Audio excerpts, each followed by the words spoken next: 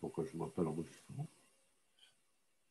Bonjour à toutes et bonjour à tous et merci de participer à cette émission radiophonique de l'Université populaire de Marseille Métropole. Aujourd'hui, mon, invité est Laurent Godmer. Laurent Godmer est diplômé de Sciences Po à Paris, également d'HEC. Euh, il a étudié à l'Université de Paris-Panthéon-Sorbonne, obtenu une, habilitation, une maîtrise, pardon, et un DEA, ainsi qu'un doctorat de sciences politiques. Laurent Godmer est également maître de conférence, habilité à diriger des recherches en sciences politiques à l'université Gustave Eiffel. Et ses travaux portent de recherche portent principalement sur le métier politique en Europe. Bonjour Laurent et merci de participer à cette émission. Bonjour Jean-Pierre, merci à vous. vous avez écrit euh, un, livre dont le titre est Le travail électoral. Euh, et moi, euh, j'ai relevé au tout début de ce livre votre, positionnement à propos du travail électoral d'ancrage et du travail électoral de campagne. Donc là, on est plutôt dans le travail électoral de campagne, puisque des élections vont avoir lieu très prochainement. Mais qu'est-ce que c'est, d'après vous, le travail électoral d'ancrage qui, si j'ai bien, compris, conditionne bien évidemment le travail électoral de campagne? Alors, on peut dire que le travail des, élus et des candidats est un travail politique, mais aussi un travail électoral, et donc, euh, il s'incarne dans deux dimensions. Le travail d'ancrage, le travail électoral d'ancrage, c'est-à-dire notamment de la part des élus, toutes les actions qui permettent de s'ancrer dans un territoire, de construire une sorte de légitimité, d'apparaître comme un bon élu, un bon maire. Et le travail de campagne, c'est plus euh, la même chose d'une certaine manière, mais dans un moment spécifique, une configuration spécifique, ce qu'on appelle les campagnes électorales, où là, pour mener à bien son travail d'élu, son travail de candidat, il faut utiliser un certain nombre de répertoires de campagne, pratiquer un certain nombre d'actions et euh, observer un certain nombre de rites qui forment la campagne. J'avais également relevé de discuter de l'emprise des appareils politiques sur les campagnes électorales et sur les candidatures. Et on vient d'avoir à Marseille, dans la région Provence-Côte d'Azur, un exemple euh, flagrant. Euh, Renaud Muselier, qui est le président sortant du conseil régional de Provence-Alpes-Côte d'Azur, qui se représente aux, euh, aux, prochaines élections régionales et qui n'a rien trouvé de mieux que de, de s'associer à la secrétaire d'État en charge, de, du handicap euh, qui est membre de la République en marche, de s'associer et de l'associer donc à sa liste de, candidats. Euh, et en même temps, on a, observé donc, la satisfaction de Jean Catex qui disait ben oui, c'est bien, on explose les partis et on rassemble toutes les bonnes volontés. Et euh, tout de suite après, Christian Jacob, qui est le, président du groupe Les Républicains à l'Assemblée nationale, dire ben, nous, nous, retirons euh, l'investiture à Renaud Muselier. Donc, je reviens, quelle est l'emprise des appareils politiques sur les élections, qu'elles soient régionales, euh, départementales, euh, municipales ou nationales oui, merci Jean-Pierre. Oui, c'est tout à fait de cette précision, c'est tout à fait passionnant, puisqu'on a tendance à dire, et notamment en sciences politiques aujourd'hui, que les partis sont discrets, ce qu'on appelle la discrétion partisane. Les partis se cachent ou en tout cas les candidats les cachent, réduisent la taille des logos, se disent candidats de plateforme, d'associations, minorent la participation du parti, comme euh, Anne Hidalgo, maire de Paris, qui est présentée par Paris en commun, et ce genre de choses. Et euh, en fait, derrière cette discrétion partisane, les partis restent omniprésents. Pourquoi? Puisque seuls les grands partis peuvent mener des grandes campagnes peuvent opérer le travail électoral dont je parlais tout à l'heure en termes de ressources, de militants, de capital symbolique, de visibilité. Et finalement, il y en a assez peu en France, par exemple, de grands partis ayant ont quelques dizaines de milliers de militants et des moyens suffisants. Il y a la République en marche grâce au financement public. historiquement les républicains, le Parti socialiste, mais aussi le, Parti communiste français toujours, et euh, d'une certaine façon le, le, Rassemblement, national. Les autres partis sont beaucoup plus faibles et ne peuvent pas mener de, campagne de manière aussi, euh, aussi importante. Donc c'est quand même important pour les candidats d'avoir un soutien partisan. dans le cas de l'accord euh, entre Renaud Muselier et La République en marche, visiblement, il y a jusque-là une sorte d'autonomie accordée à, ce candidat pour organiser ses alliances, parce que, euh, évidemment, il y a besoin d'un point dans, le cadre des élections régionales pour être sûr d'obtenir un score très élevé dès le premier tour, pour être sûr d'être réélu, puisque vous savez bien que Renaud Muselier a été élu grâce au retrait des listes des listes de gauche, de, Christophe, des listes conduites par Christophe Castaner. Euh, il y a beaucoup de recompositions, c'est difficile à suivre, j'imagine, pour les, pour les électeurs. Et, euh, mais ça n'a pas été totalement oublié, puisque voilà, l'idée, c'est que là, cette fois-ci, peut-être que ce retrait ne serait pas évident, vu l'évolution de politique. Et on voit bien le calcul qui est à la fois de s'appuyer sur son parti traditionnel d'une manière ou d'une autre, même si son parti demain va, va peut-être le désavouer ou qu'il y aura une procédure, un habillage différent, c'est-à-dire qu'il n'aura pas l'investiture, mais il n'aura pas de liste contre lui, par exemple. il aura quand même le soutien militant, ou en tout cas, il aura peut-être une liste symbolique contre lui, mais qui ne passera pas la, barre des 10%. Mais donc, d'avoir quand même le soutien plus ou moins du, réseau d'élus partisans, en tout cas dans le cas de, PACA, de la région sud, et euh, adossé à cela le soutien d'un grand parti national, quand même, la République en marche, le parti présidentiel, le parti qui a le plus de subventions nationales, ce qui permettrait peut-être de compenser l'absence de soutien de la gauche entre les deux tours, surtout si les listes de gauche, au moins il suffit d'une liste de gauche, se maintient au second tour. Donc on voit là, c'est un calcul très très fort, mais qui, laisse transparaître l'emprise des partis sur les, sur les élections. Ce qui, pour terminer là-dessus, ce qui est intéressant, c'est le, le conflit d'échelle entre l'échelle régionale, où tout ça a l'air bien rationnel, bien logique, on voit les, les, alliances, tout ça est soutenu par Martine Massal, la présidente du, des Bouches-du-Rhône, euh, voilà, les alliances, le maire de Nice, le maire de Marseille, euh, tout le monde s'accorde.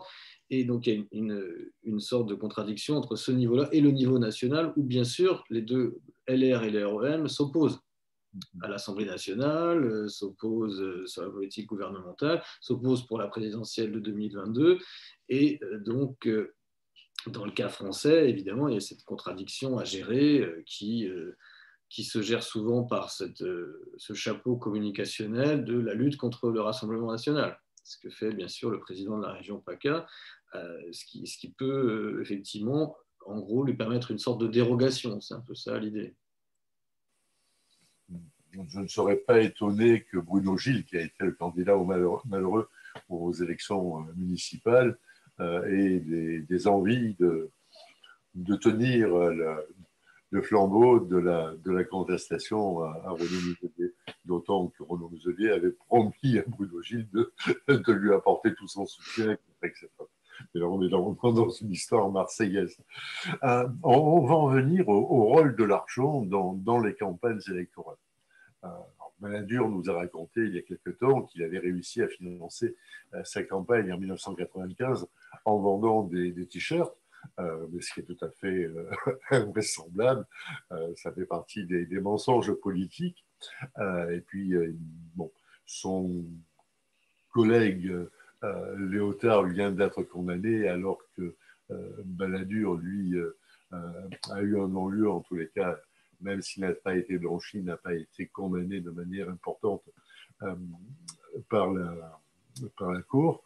Euh, mais quel, quel, est le, le, moyen des, partis politiques, hormis euh, les subventions de, de l'État, donc ce que reçoivent tous les partis en fonction du nombre de voix qu'elles recueillent aux différentes élections, mais sinon, comment les les partis politiques réussissent à, trouver autant d'argent pour mener des, campagnes électorales? Euh, pour, ce qui est du financement, effectivement, c'est une question centrale en Europe, puisque euh, les, euh, les, dépenses sont quand même très surveillées, contrairement peut-être, c'est peut-être pour ça qu'il y a autant d'affaires qui sortent, hein, on, s'intéresse beaucoup à ces questions-là, et elles sont plafonnées, alors que dans d'autres États, bah, comme aux États-Unis, il y a évidemment une réglementation, mais le financement privé, euh, indirect, en tout cas par des, notamment des, milliardaires, peut être simplifier en quelque sorte le, financement des campagnes. Le problème étant qu'elles sont beaucoup plus coûteuses aussi hein, aux États-Unis. Mais en France, effectivement, depuis qu'on a ces, subventions publiques et ces plafonds assez bas, pour beaucoup de campagnes, le, financement des campagnes est relativement simple. Hein. elles sont peu coûteuses. En tout cas, pour les campagnes locales, pour des campagnes législatives, c'est essentiellement les subventions publiques qui financent les partis en fonction des résultats aux élections législatives. Le problème, c'est effectivement comment trouver de l'argent quand on a besoin de davantage d'argent, pour une campagne présidentielle, d'une part, et, ou quand on n'a pas de parti politique ou un nouveau parti politique. Ce qui était le cas d'Emmanuel Macron ou ce qui était le cas d'Edouard de, Balladur en 1995. Et là, donc, il y a deux, solutions. Hein. Donc la solution, disons, euh, contesté aujourd'hui, controversé de, la campagne d'Edouard Balladur et d'autres, c'est euh, les financements parallèles, en l'occurrence, vraisemblablement euh, des, fonds secrets, ce qu'on appelle des fonds secrets, donc des, ressources euh, étatiques, mais qui ne, qui laissent pas de traces officielles, mais dont il ne vaut mieux pas faire état, puisque dans ce cas-là, on pourrait être poursuivi pour, pour une sorte de recel, etc. D'où la discrétion, le flou et finalement la relaxe d'Edouard Balladur, puisqu'il n'a pas pu être prouvé non plus que les, sources étaient, vraiment illégales, mais on imagine bien que ça vient de, quelque part près de dans, les environs des fonds secrets gouvernementaux. Et euh, autre solution, c'est évidemment les, les, financements par les militants, les financements par les, partis, par les fédérations locales, par les, par des donateurs. C'est limité, mais comme les, plafonds sont relativement bas, par exemple pour les campagnes locales, ça permet quand même de faire pas mal de choses. Et, mais encore une fois, ça, traduit en creux l'importance des partis politiques.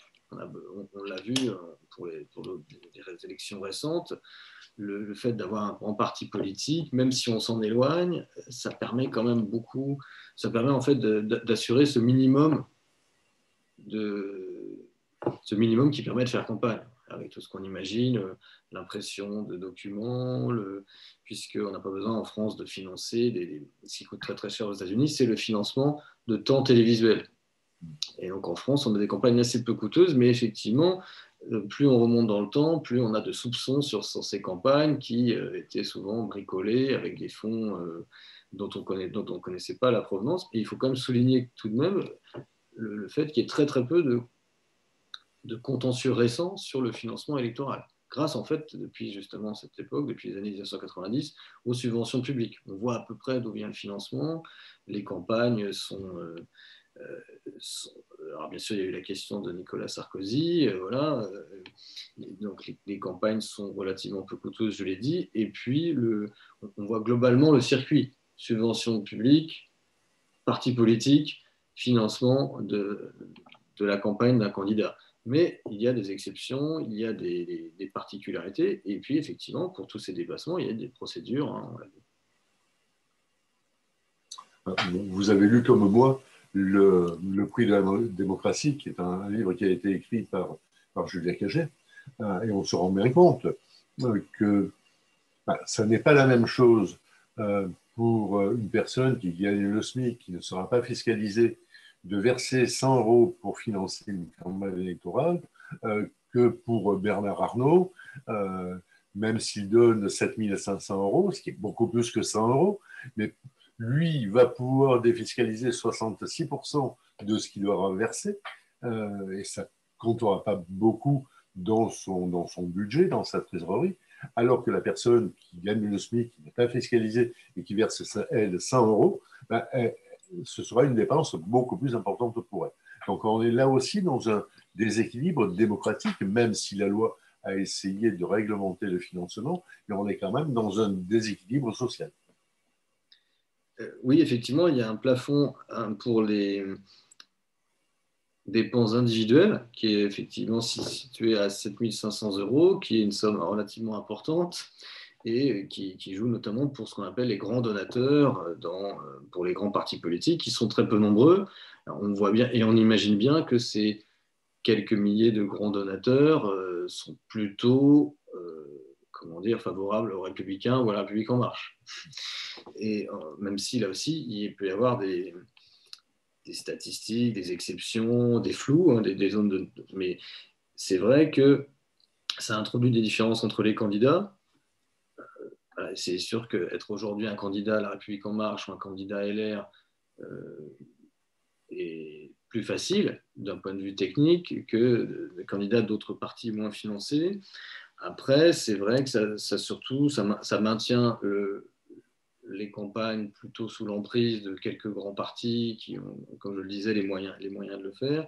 Et peut-être qu'effectivement, entre les citoyens, peut-être que cette, cette, norme est relativement élevée, hein, puisque voilà, on fait tout de suite des calculs, on se dit, mais il suffit de quelques centaines de personnes euh, fortunées pour arriver à, un nombre assez important. Donc on voit bien tout ce que ça peut avoir euh, comme, effet. Donc là, aussi, ça, explique peut-être surtout, je pense, la sensibilité à, ces questions-là, puisqu'à partir du moment où on a commencé à organiser des subventions publiques à une certaine transparence, c'est la boîte de Pandore. Donc là, on s'intéresse maintenant vraiment aux détails. Comment sont financées les campagnes, qui sont ces grands donateurs, euh, quels partis sont favorisés, quels sont les effets. Et, euh, c'est sûr que euh, ça peut tout à fait expliquer des différences dans les capacités aussi de faire campagne notamment au niveau national, hein, on, voit bien, un, candidat comme Emmanuel Macron a assez facilement, tout de même, avec un parti créé en avril 2016, juste pile un an avant le premier tour de l'élection, assez facilement pu faire campagne sans avoir vraiment de soutien extérieur, si ce n'est celui du, mouvement démocrate, du MoDem, mais qui était très peu, très peu financé à l'époque. Et donc, on peut, on peut supposer qu'il a eu des, soutiens un peu de, de militants sincères à 100 euros, mais, euh, mais aussi avec bien sûr des dons, des dons supérieurs, avec un certain profil sociologique. Alors il y a beaucoup de réflexions en sciences politiques sur euh, la question de savoir est-ce que ça a des effets sur les politiques publiques menées? Dans le cas d'espèce, euh, on peut effectivement dire que oui, voilà, il y a une certaine orientation générale de la politique économique des gouvernements Philippe et Castex, qui n'est pas en contradiction avec ce, profil général peut-être des, grands donateurs de, la République en marche au départ. Après, ce n'est pas un effet mécanique non plus. Hein. On, a parlé du financement de la campagne de Balladur euh, au travers de, de mais aussi dans le cadre de la campagne électorale aux États-Unis, on a parlé de l'ingérence de, la Russie euh, dans les élections euh, états-uniennes. Est-ce que vous observez d'autres ingérences euh, d'autres pays euh, dans le cadre des élections euh, en France ou dans d'autres pays? Il me semble que la France n'est pas étrangère à quelques participations à la marche d'élections en, en, Afrique ou dans d'autres pays. alors là aussi, là c'est difficile à objectiver, c'est difficile d'administrer la preuve, de prouver clairement que tel pays, en tout cas officiellement, hein, que, tel, que tel gouvernement s'implique dans des campagnes électorales à, l'étranger. Euh, alors évidemment, on peut imaginer qu'à certains moments, en tout cas historiques, ça on le sait après a posteriori avec des archives, que la, France, en tout, par exemple, immédiatement après les décolonisations, ça c'est sûr, c'est impliqué pour euh, le gouvernement français pour soutenir le réseau diplomatique français, pour soutenir euh, notamment des présidents qui se représentaient, ça c'est sûr.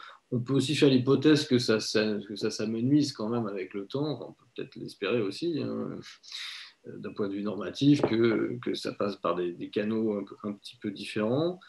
Pour le cas de la Russie, c'est effectivement, alors là, est-ce que ça fait partie d'un ensemble de, disons plutôt des acteurs para-étatiques qui aiment bien plutôt participer à une déstabilisation des pays étrangers de manière plus vague, plus, plus générale et, plus vague à la fois, c'est-à-dire que une campagne électorale pourrait être un moyen de, de, multiplier les débats, de, déstabiliser un petit peu un État, euh, comme c'est ce qui a été euh, aux sources des accusations contre les activistes russes. Euh, vis-à-vis des États-Unis, bon, c'est assez compliqué. Hein.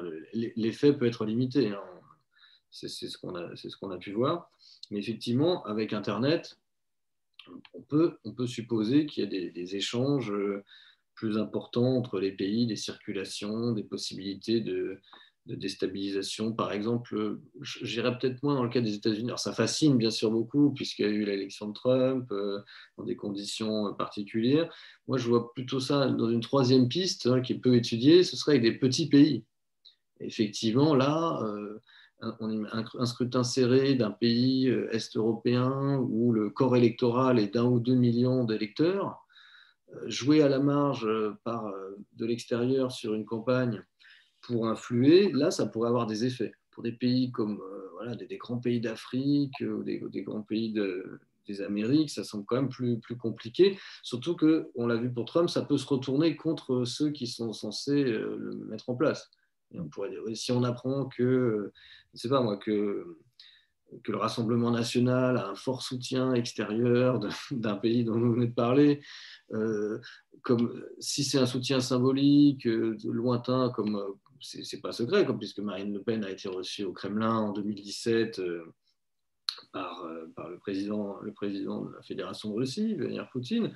Donc euh, c'est un soutien un, peu quand même très très indirect, et là tout à fait, qui ne pose pas de problème légaux, etc. Si après on, on apprend qu'il y a vraiment des soutiens, par exemple financiers ou techniques venant de, pays étrangers, ça pourrait surtout se, ça pourrait se retourner contre ce parti-là. Oui,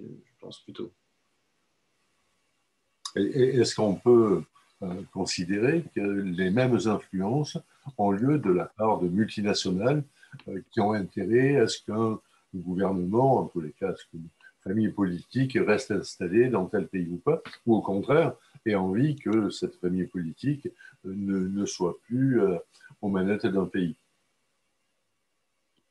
C'est difficile à dire autant dans le cas américain, il y a une transparence, on sait que tel dirigeant d'entreprise euh, finance directement euh, tel candidat. Et là, on peut supposer que euh, après, il y a une sorte de reconnaissance du ventre du candidat élu, donc du, du, membre du Congrès, voire du président, vis-à-vis de cette entreprise. Après, c'est très complexe, puisqu'une entreprise peut, aux États-Unis, euh, un dirigeant d'entreprise peut soutenir des candidats de plusieurs partis, dans plusieurs États. Euh, voilà, ça peut être euh, souvent sur des. Alors, ça peut fonctionner, disons, sur des questions précises. L'opposition à telle loi, à telle. Et notamment le fait qu'aux États-Unis, il y a des campagnes référendaires dans certains États comme la Californie. Et là, directement, une entreprise peut financer telle par exemple, vois, des spots télévisuels pour que la décision aille dans tel sens. Et là, on peut objectiver le fait que, ah oui, effectivement, l'entreprise est, est, un acteur politique euh, et, de, de, temps en temps, quand c'est serré, comme je le disais pour le cas des, des influences extérieures, on peut dire, ah voilà, c'est l'implication de telle entreprise, de tel dirigeant qui a pu peut-être à la marge jouer. Mais de manière plus globale, ça semble quand même complexe, puisque ça, sous-entendrait que les multinationales ont les mêmes intérêts voyez, parce que si on suit le raisonnement, ça voudrait dire que toutes les multinationales ont une position. Or, les multinationales sont aussi en opposition les unes, les unes contre les autres. Donc, euh, on voit, on voit mal une implication directe. Et là aussi, il pourrait y avoir un, effet boomerang si on apprend que tel candidat est manipulé par une, voyez, euh, une grande entreprise qui, par exemple, aurait une mauvaise image. Donc, je pense qu'elle préfère la discrétion, en tout cas en Europe. En revanche, troisièmement, oui, elles vont plutôt influer, je pense, de manière très indirecte sur euh, le commentaire des, décisions de campagne, des, propositions de campagne, pardon, des éléments programmatiques, par le biais de think tanks qui diraient que ah, telle proposition n'est pas réaliste, euh, n'est pas, euh, conforme aux objectifs de l'économie nationale, ce genre de choses. Et enfin, dernièrement, ce qui se passe plutôt, c'est qu'il y, a des fleurons nationaux et donc, euh, les multinationales sont quand même nationalement ancrées. On, imagine mal un candidat français euh, entrer, en, guerre contre les, grands fleurons de l'industrie française, je ne sais pas, Renault, Total, etc. Ça semble, assez logique que, beaucoup d'élus les soutiennent. Alors, qu'est-ce qui, est, qu'est-ce qui est du ressort de l'influence de l'ordre euh, du lobbying, qu'est-ce qui est du ressort d'une sorte de patriotisme économique, d'un intérêt politique, bien entendu, et aussi tout simplement de la défense de l'emploi dans des territoires précis. Là, c'est difficile de faire, de faire la part des choses. Je, je pensais à une entreprise euh, du bâtiment qui est très, très implantée en, Afrique et qui, euh, qui, dispose de la gestion euh, des, ports, mais aussi une grande part de, la construction qui se déroule dans ce pays. Je, pensais donc à cette entreprise-là qui n'a aucune envie que le, gouvernement en place, en tous les cas, les orientations qui sont prises par ce gouvernement, évoluent ou changent je, comprends votre, votre timidité à, répondre à des, euh, à des questions aussi, aussi embarrassantes.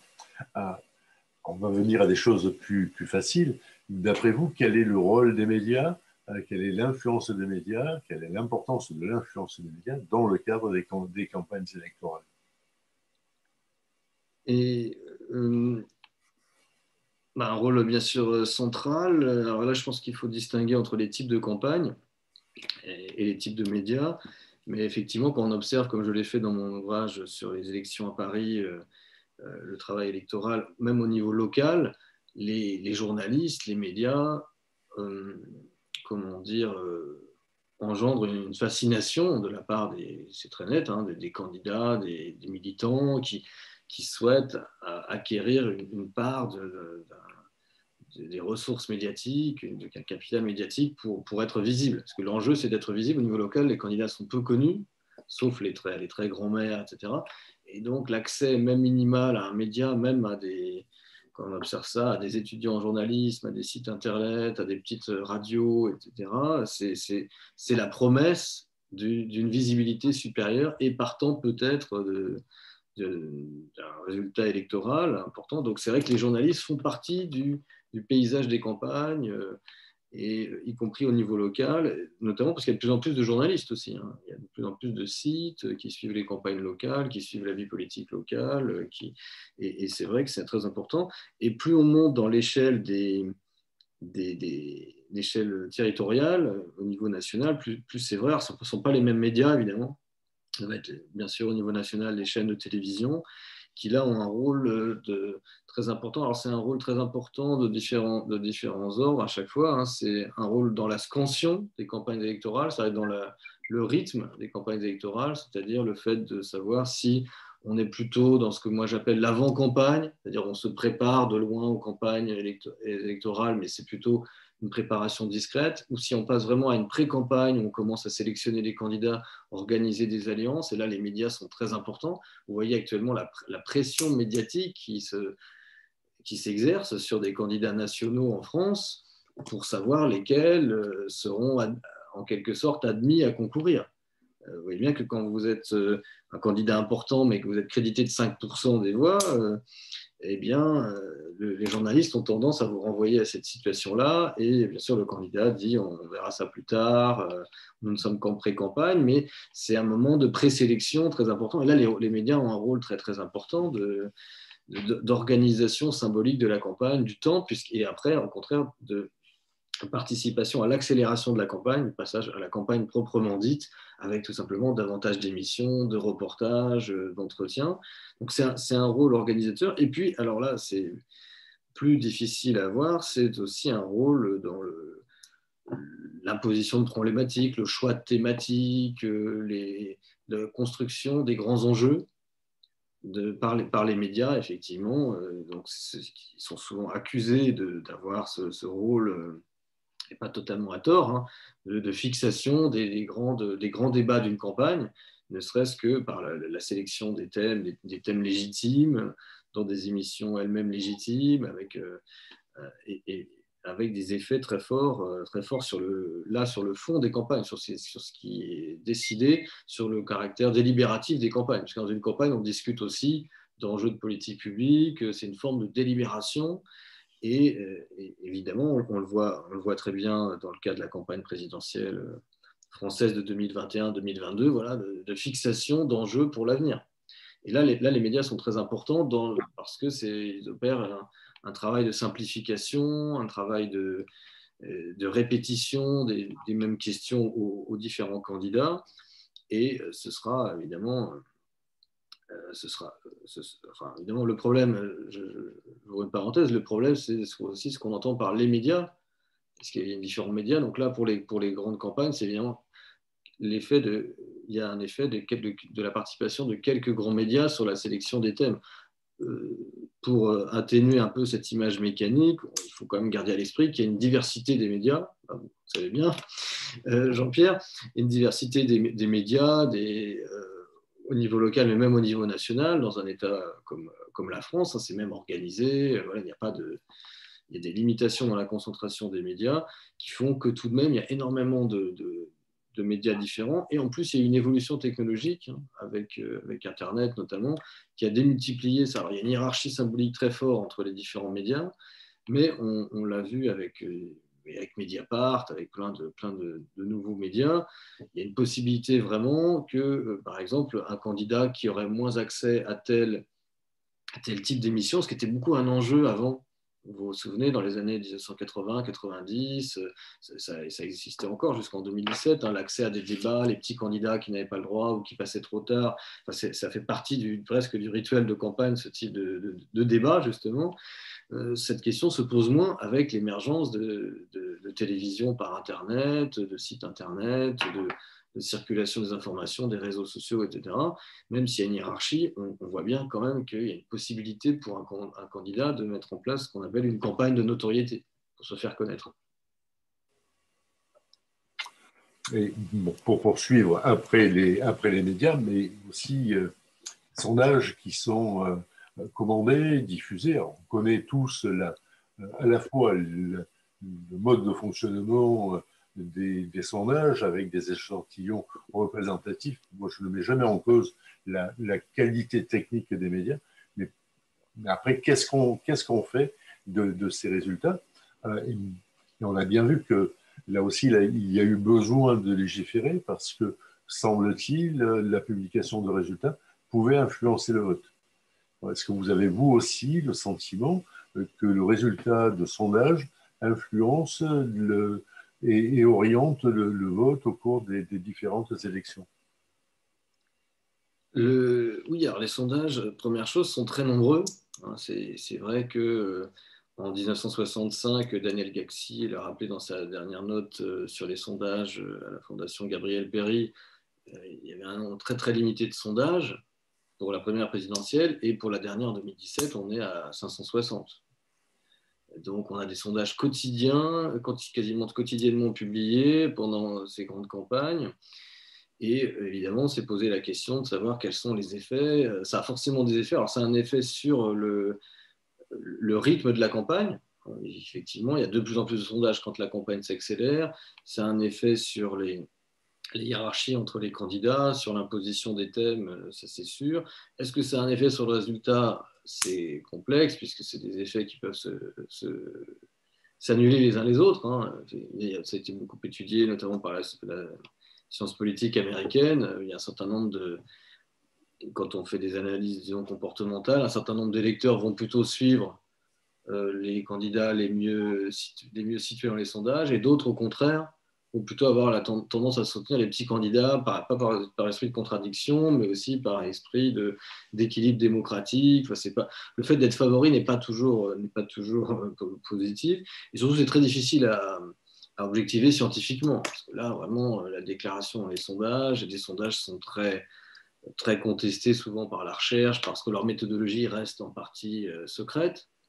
Ça évolue, effectivement. On a de plus en plus la publication, vous l'avez dit, euh, de, la méthodologie minimale, du nombre de sondés. Depuis là, depuis ces dernières semaines, l'obligation de, de, publier la marge d'erreur, c'est tout nouveau, hein, là, avril 2021. Il y a une loi de 2021 qui y oblige. Alors, est-ce que tout ça euh, participe d'une plus grande transparence, oui. Est-ce que ça a des, effets? C'est difficile à dire, mais effectivement, les sondages sont, sont, partie, sont partie intégrante du, des campagnes, en tout cas nationales, ne serait-ce que parce qu'on les commande beaucoup, on les commande beaucoup, et parce que les commentateurs et les, les sondeurs eux-mêmes sont invités, etc., à parler du sondage. Le sondage fait événement. Ce n'est pas forcément le sondage lui-même, c'est l'usage des sondages. Par exemple, cette, cette manie qu'ont les journalistes, qu'ont certains journalistes, de dire le sondage est une photographie à un instant T, ce genre de choses qui ne veut rien dire scientifiquement. C'est bien sûr pas une photographie, euh, c'est une enquête qui donne un certain nombre de renseignements, euh, peut-être, euh, mais c'est pas une photographie à un instant T. La seule chose qui est vraie, c'est que ça change tout le temps, évidemment. Et, les enquêtes des, collègues sur les électeurs sont fascinantes. Quand on, quand on, étudie des électeurs, on se rend compte que plein d'électeurs, au niveau comment dire, hésite entre des candidats qui a priori sont très différents ou changent d'avis. Euh, c'est beaucoup moins scientifique que ça apparaît dans les, dans les sondages. Mais en tout cas, au niveau, national, c'est vrai qu'il y a une, domination d'un feuilleton, hein, comme on dit, euh, un feuilleton politique à partir des sondages, avec ce qu'on appelle l'effet course de chevaux, ça monte, ça descend, il avance, il recule. Euh, et, c'est vrai que ça, notamment en France pour la présidentielle, c'est devenu assez important. Je pense qu'il faut distinguer ça du niveau local, régional, où là, à contrario, ce qui est assez fascinant, c'est le, très faible nombre de sondages. Euh, et par exemple, dans les élections que j'ai étudiées à Paris, les sondages vraiment euh, publics publiés pour une campagne qui durait deux ans, il y en avait deux. Il y avait deux sondages. Et donc, immédiatement, tout le monde pouvait les critiquer en disant il y a peu de sondages, ils ne sont pas scientifiques. Mais même si les, sondages d'intention de vote font partie des sondages les moins critiquables, puisque c'est assez simple. Si on vous dit si c'était dimanche, vous voteriez quoi? Bon, ce n'est pas une information très, très complexe, vous voyez. Et, donc, ça peut être parfois relativement fiable, mais il y en a très très peu. Et il y a même assez peu, moi j'avais observé, il y a même assez peu de ce qu'on appelait des sondages RG avant, hein, des sondages euh, menés par les, bref, euh, les, différents officiers, ce qu'on appelle les renseignements généraux, ou même des sondages secrets hein, commandés par des, partis politiques. il y en a assez peu, parce que c'est assez coûteux, et puis parce que ce n'est pas forcément très, très utile, et ça pose des problèmes internes.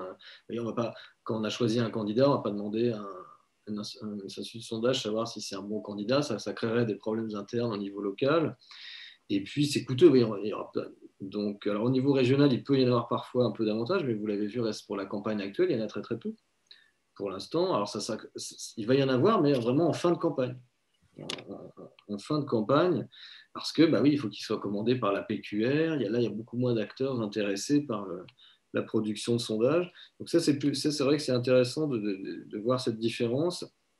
Et au niveau local et au niveau euh, régional, le, les, les campagnes ne sont pas forcément autant rythmées par les sondages. Mais ça a quand même des effets. pour terminer, les effets sont peut-être surtout d'une certaine façon sur les professionnels de la politique. Ceux dont le métier de faire de la politique, pour eux, les sondages ont des effets dans leur, euh, dans leur stratégie, dans leurs anticipations. Vous en parliez dans le cas de Renaud Muselier. On peut imaginer que euh, une partie de, la stratégie est, liée à des sondages, des enquêtes parallèles, euh, voilà, la, peur de échoué, etc., grâce au sondage. Et c'est vrai que ce sont devenus en, ce sont devenus en quelques dizaines d'années des, des, acteurs centraux euh, à différents, à différents niveaux pour les hommes politiques, pour les hommes et les femmes politiques, pour se positionner aussi euh, par rapport à, à, une offre politique nouvelle, à, à une offre, euh, vous voyez, par exemple, je sais pas, quand il y a eu le mouvement des Gilets jaunes, très vite, il est apparu que politiquement, ça n'avait pas débouché direct, ce qui s'est avéré. Donc ça a peut-être expliqué pourquoi il n'y a pas eu tant de changements. Bah oui, et puis les listes qui se réclamaient des gilets jaunes, là aussi, comme c'était prévu par les sondages, entre guillemets, euh, enfin, pour certains sondages, n'ont pas eu d'effet autant euh, peut-être qu'espéré par ce mouvement, par exemple. Même s'il y avait eu au départ quelques sondages qui disaient que peut-être euh, ça ferait 12%, finalement, c'est très vite retombé. Vous avez lu comme moi le, livre de César et Matina, euh, dont le titre est Le clientélisme. Euh, est-ce que dans le travail euh, d'ancrage dont on parlait au tout début de cet entretien, ça n'est pas une difficulté de, des femmes et des hommes politiques de maintenir leur, leur électorat disposé à nouveau leur accorder leur confiance? Le, livre de Cesare Matina, Clientélisme urbain, qui porte euh, sur Marseille, est tout à fait passionnant, puisqu'il montre que, évidemment, l'ancrage des entreprises politiques, des dirigeants politiques, euh, passe par des systèmes de redistribution, plus ou moins parallèles, plus ou moins, euh, plus ou moins légaux, qu'on a tendance à, rassembler sous, le, le, vocable de pratiques clientélaires avec l'idée, pratique clientélaire, qu'il y a une, relation clientèle, c'est-à-dire qu'elle appelle une, réciprocité, tout simplement ce qu'on appelle un échange électoral, c'est-à-dire euh, en, l'occurrence un vote. On, fait ça et on escompte un vote.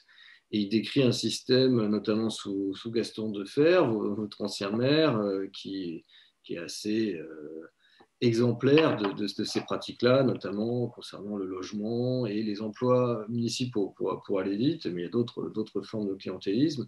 Mais ce que dit bien aussi Cesare Matina, c'est que il y a eu peut-être un âge d'or avec beaucoup de ressources à distribuer, notamment les grandes constructions de logements à Marseille, à Lille, à Paris, euh, disons dans les années 1960-1970, après la reconstruction, après les guerres coloniales, après la décolonisation, après les, le baby boom, enfin tout ce que l'exode rural, il y a une période vraiment de grande construction. Et aujourd'hui, est-ce qu'il y a autant de choses à redistribuer? Son hypothèse, c'est que non. Il n'y a pas beaucoup de choses à redistribuer. Donc, qu'est-ce qu'on fait quand on n'a pas grand-chose à redistribuer ou quelques dizaines de logements. Et parfois, c'est difficile de. Donc, on fait un travail d'ancrage, disons, symbolique. C'est-à-dire, euh, un logement social vous êtes attribué à Paris dans un arrondissement, ce n'est pas vraiment un rapport clientélaire, mais symboliquement, le maire ou la maire va vous envoyer un courrier pour bien montrer qu'il a suivi votre demande, pour bien montrer que c'est lui qui, a aidé, soi-disant, qu'il a joint une intervention, et c'est lui qui vous annonce que vous avez obtenu, donc par exemple à Paris, ce n'est pas tout à fait les mêmes enjeux, mais par exemple des places euh, en crèche, euh, oui, établissements de la petite enfance, euh, et éventuellement des logements sociaux un certain type de logements sociaux. Donc, peut-être on va, retrouver un maintien symbolique du clientélisme. On est dans le cadre de la légalité, mais on est dans une sorte de communication euh, post-clientélaire. Voilà, euh, c'est-à-dire que vous obtenez quelque chose qui n'est pas lié directement à l'intervention, mais on peut quand même enrober ça dans une, stratégie politique, une tactique politique. Ou alors, quand même, il y, a, aura un clientélisme résiduel. Euh, à savoir que bon, bah, tout, de même, dans les espaces notamment locaux, ben, on, peut quand même obtenir encore un certain nombre de choses, notamment dans le cas parisien, par exemple, les associations, hein, c'est toujours été le cas sous, euh, sous les mandatures de Jacques Chirac et de Jean Tibéry, mais aussi ensuite, euh, sont extrêmement financées avec des, 70, 70, 000, 70 000 associations dans Paris Intramuros qui reçoivent pour euh, quelques milliers d'entre elles des, subventions très très importantes. On est sur plusieurs centaines de millions d'euros par an. Et tout ça, bien sûr, euh, légalement et pour de très bonnes choses, mais on peut, on peut aussi faire l'hypothèse que dans certains cas, dans certains territoires, euh, ça, ça peut aider à des, des relations d'échange entre euh, l'univers associatif euh, et, euh, et, l'univers politique. Mais vous voyez, on est quand même dans, quelque chose de beaucoup plus indirect, de beaucoup, plus, de beaucoup moins mécanique que ça pouvait l'être dans, les présentations de l'époque de fer par Cesare Matina, par exemple. Il y a eu un excellent documentaire dont le titre est Les 3 G. C'est Gaston Defer euh, Guérini, président du Conseil général à l'époque, et puis euh, Gaudin, maire de Marseille, donc qui montre les parallélismes de fonctionnement et les parallélismes de, comportement de ces trois acteurs euh, politiques locaux. il nous reste peu de temps. on peut peut-être parler quelques, instants du cumul des mandats dans le cadre de l'ancrage politique, parce que le fait de détenir plusieurs mandats ben, permet d'être acteur sur euh, différents territoires et donc de, continuer à, intéresser la population, en tous les cas de s'intéresser à la population euh, qui, euh, qui vote sur ces territoires. Oui, le cumul des mandats a été, a été limité, notamment depuis 1985 et surtout 2014, mais il reste, il reste central puisqu'on peut cumuler par exemple, classiquement, les fonctions de maire et de conseiller régional, les fonctions de parlementaire et de, et, conseiller municipal. Donc, il y a des, des proximités ça permet effectivement un, ancrage par les élus. Alors c'est beaucoup moins, bien moindre qu'avant, ça a toujours été contesté. Hein, les travaux de, Guillaume Marel, qui est professeur à l'Université d'Avignon, qui est spécialiste de ces questions, ça a toujours été contesté puisque ça favorisait les, la, captation des ressources et la captation des positions électives par quelques élus. Et, et par hypothèse, ça favorisait des carrières très longues, ce qui est effectivement une des, spécificités françaises. Et ça devient quand même plus compliqué puisqu'il y a quand même une figure qui va tendre à disparaître, c'est la figure du député-maire. Elle était centrale, elle était structurante, soit en toute la Ve République et même avant. Et là, ce, n'est plus possible. Alors, on peut être un ancien député devenu maire, on peut être député et adjoint, on peut, et, conserver euh, pardon, le fait d'être conseiller municipal en même temps, on peut quand même trouver. Mais c'est plus tout à fait la même chose. Là, il y a, un type de figure qui, qui, va quand même objectivement disparaître. Alors peut-être que ça se manifestera d'autres manières, mais peut-être aussi qu'on a des, on aura des carrières, on a des carrières qui vont être beaucoup plus en pointillés, c'est-à-dire quelqu'un qui est député, puis qui devient conseiller régional, puis qui ensuite essaie d'être élu au niveau, au niveau euh, au niveau départemental en fonction des opportunités, en fonction du fait qu'on ne peut plus être député maire, comme, qui était la position principale. Vous imaginez, euh, vous avez bien connu ça avec euh, euh, député maire ou sénateur maire, pour parler de, Jean-Claude Gaudin à, nouveau, ça permettait énormément de choses. On disait toujours que Jean-Claude Gaudin, bah, étant à Paris chaque semaine, voyait les ministres chaque semaine au Sénat et bah, tout simplement leur donnait un petit mot écrit euh, le mardi pour demander des choses pour la ville de Marseille. Et, c'était tout à fait euh, euh, organisé, presque systémique, et, ça a sûrement permis un certain nombre de choses, donc en termes de déblocage de dossiers, de financement etc. Alors ça, ça va devenir un petit peu plus compliqué. Hein. On va peut-être avoir des, carrières peut-être a posteriori, euh, a priori peut-être un peu plus courtes, euh, des allers-retours entre public et privé, mais on a quand même des critiques qui disent oui, mais justement, pour terminer, on a peut-être un peu euh, le danger d'avoir des élus plus fragiles aussi. Là, évidemment, on a l'élu très fort avec le risque de clientélisme et tout ce qu'on peut connaître, mais on peut avoir des élus plus fragiles justement face au lobby. Ce que vous disiez tout à l'heure sur les grandes entreprises, eh bien euh, là on aura des élus plus isolés. c'est des hypothèses qui tournent dans les, cercles de la science politique. Euh, est-ce que euh, ces élus seront toujours des professionnels, mais ils seront peut-être leur pouvoir sera moins grand? Alors ça paraît positif en termes de réappropriation démocratique, de délibération, de circulation du personnel politique. Et c'est indéniable, avec tout ce qu'on imagine, un rajeunissement, féminisation, etc. Mais en même temps, euh, il faut faire attention à ce que le, système politique ne soit pas trop, trop affaibli face à d'autres, peut-être d'autres instances, d'autres types de pouvoirs. Euh, euh, on, voit par exemple avec les députés, un député qui n'est pas maire, qui fait juste un mandat, qui est minoritaire ou qui est peu présent, quel est son pouvoir? euh, la réponse est bien sûr dans la question et son pouvoir a priori relativement faible, alors qu'auparavant, même si c'était un député peu présent, ah oui, mais il est maire d'une ville moyenne importante, donc on voit bien que c'est une sorte d'attribut euh, complémentaire de sa position mayorale, de sa position de maire. Là, euh, donc, on aura peut-être des formes d'affaiblissement et de, ou, alors de présidentialisation. Il y a quelques grands élus qui vont visuellement, en quelque sorte, remplacer ces anciens élus on le voit par avec les présidents de région ou les présidents de métropole, on voit émerger des, figures qui n'ont plus besoin du cumul des mandats pour, exister euh, euh, dans, l'univers politique. Nous arrivons à la fin de cet entretien. Vous avez le mot de la fin. Euh, ah oui, merci Jean-Claude. Merci Jean-Pierre, je ne savais pas qu'il y avait un mot de la fin. Mais sinon, nous voulons parler du, référendum, du référendum d'initiative citoyenne. Euh, non, non, mais je vais faire le mot de la fin, bien sûr. Euh, oui, bah déjà, je vous renvoie pour plus de détails, bien sûr, aux, auteurs dont j'ai parlé. Et peut-être pour nous terminer avec la, situation actuelle, oui, la, situation politique actuelle comme laboratoire de, toutes ces évolutions. Je pense qu'on peut lire euh, les, régionales de 2021 et la présidentielle de 2022 comme des laboratoires de ces transformations.